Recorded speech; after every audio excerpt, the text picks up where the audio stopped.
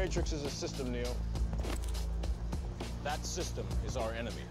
But when you're inside, you look around, what do you see? Businessmen, teachers, lawyers, carpenters, the very minds of the people we are trying to save.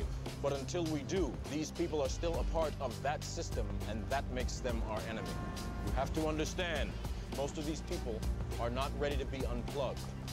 And many of them are so inert, so hopelessly dependent on the system, that they will fight to protect it.